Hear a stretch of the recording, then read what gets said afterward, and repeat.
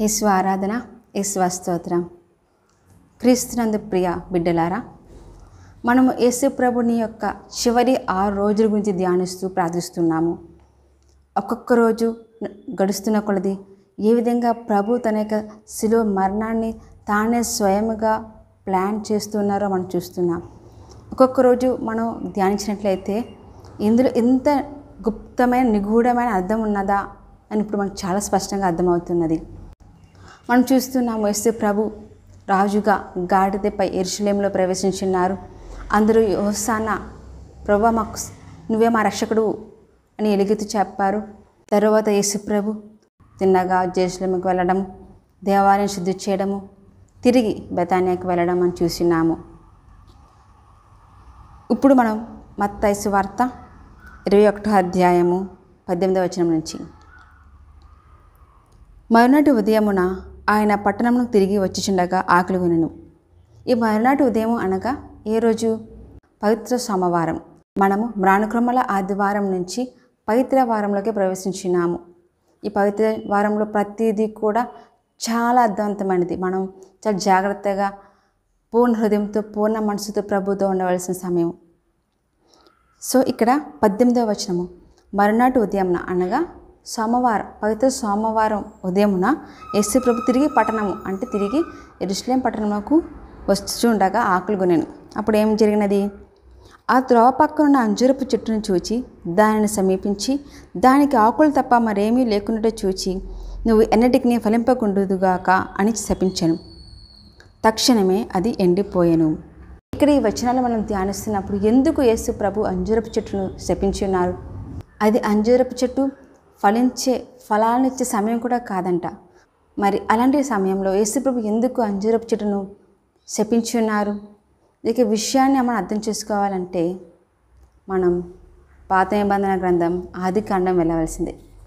మనకి తెలుసు ఆదాము అవ్వ పాపం చేస్తున్నారు. తినకూడని దేవుడు తినవద్దు అని పలికిన పండును వాళ్ళు తిని పాపం చేశారు. ఒకసారి ఆది కాండ మూడో అధ్యాయము ఒకటో వచనం నుంచి. దేవుడైన యావే సృష్టించిన జంతువులన్నిటిలో జిత్తుల మారిది సర్పము. అది తోటలో ఉన్న ఏ చెట్టు పండును తినరాదని దేవుడు మీతో చెప్పినట్టు నిజమేనా? అని స్త్రీని అడిగాను. దానికి స్త్రీ తోట నడుమనున్న చెట్టు పండు తప్ప మిగిలిన ఏ చెట్టు పండు అయినా మేము తినవచ్చును. ఆ చెట్టు పండును మాత్రము మేము తినకూడదు తాకకూడదు. ఆ పని చేసినచో మేము చనిపోవదము అని జవాబు చెప్పాను. అంతట సర్పము ఆ మాట నిజము కాదు. మీరు చావనే చావరు. ఆ చెట్టు పండును తిన్నప్పుడు మీకు కనువిప్పు కలుగుననియు. మీరు మంచి చెడులు తెలుసుకొని దేవుని వల్ల అగుదురనియు ఎరిగి అతడు మీకు అట్లు చెప్పాను అనేను. స్త్రీకి ఆ చెట్టు కన్నుల పండుగగా ఉండెను. దాని పండు తినుటకు రుచిగా ఉండునని తోచాను. ఆ పండు వలన తెలివితేటలు కలిగిన ఎంత బాగుండునో కదా అని ఆమె తలంచాను. ఇట్లా అనుకొని ఆమె ఆ చెట్లు పండ్లు కోసి తిని భర్తకిచ్చెను. అతడును తినెను ఆ పండును తిన్న వెంటనే వారికి కనువిప్పు కలిగినది. వారు మొండెమలతో ఉన్నట్లు వారు తెలుసుకునేది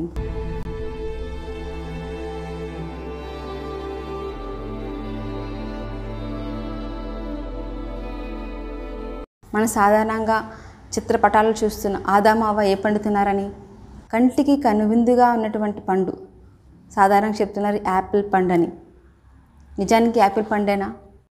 ఆదామ అవ్వ దేవుడు తినవద్దని పండు చెట్టు వద్దకు వెళ్ళి తినవద్దనటువంటి పండును కోసి తిని ఏవా వెంటనే ఆదాముకు ఇవ్వడం ఆదాము తినడం వెంటనే వాళ్ళకి ఏమి కలిగినది?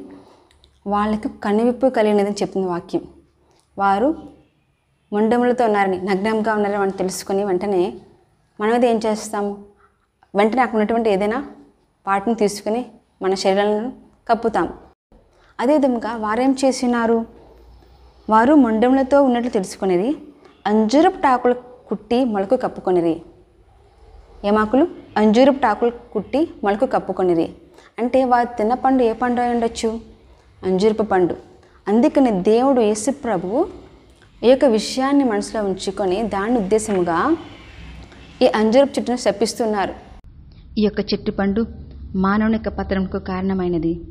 దేవునితో ఉన్నటువంటి సంబంధాన్ని తెంచివేసినది. ఆత్మలోని పరిశుద్ధతను కోల్పోయినాడు. అందుకని ఆ యొక్క ఆగ్రహంతోనే ప్రభు ఈ యొక్క అంజురపు చెట్టును చూచి దాన్ని శప్పిస్తూ ఉన్నారు. ఇదిగో నీ ఫలమే మానవుని యొక్క మరణముకు దారి తీసినది మానవుని దేవుని నుండి వేరుపరిచినది.